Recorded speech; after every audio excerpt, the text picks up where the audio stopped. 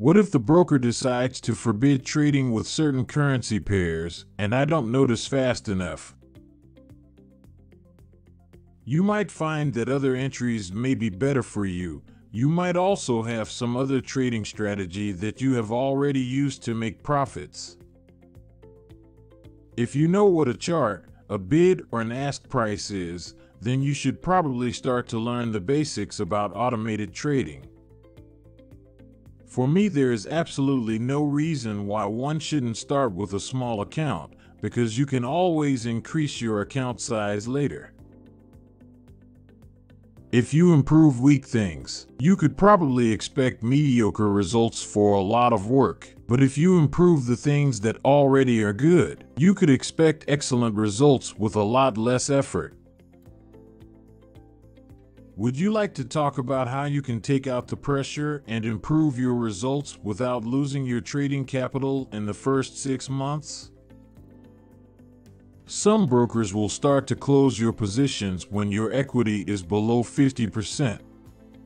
You need to take that in consideration. The problem is that our eyes often play tricks on us. If you take a closer look at a chart, you will notice that there are never candles that are drawn above or below the limits of this chart. It is easy to test an entry signal with an automated system, and you wouldn't even need to invest 5 minutes to create a reverse entry.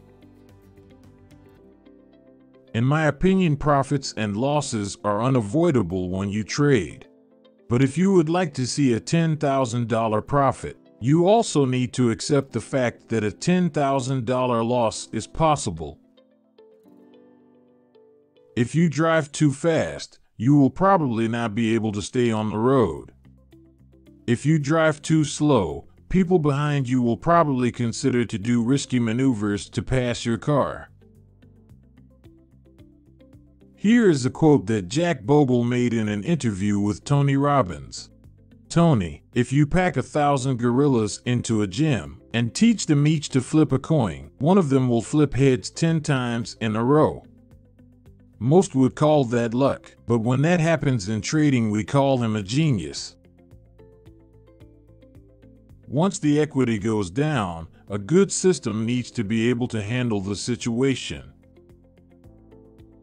An algorithmic trading system has not only advantages but also disadvantages. One of these disadvantages is that you cannot teach the system to bend the rules. Do you know what is going to happen? And if so, wouldn't it be better to keep it a secret and use the knowledge about the future to trade it? I do a lot of tests, usually for at least 10 currency pairs, and if I am convinced that I found a market advantage, I turn the whole thing around and trade the opposite. Before I used automated trading systems, I often missed market moves because I wasn't in front of my computer.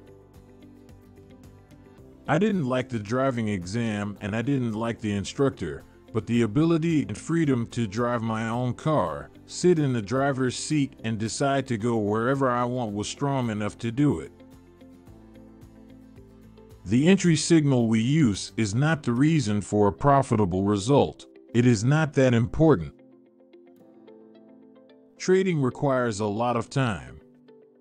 Your computer can do that without getting tired or bored.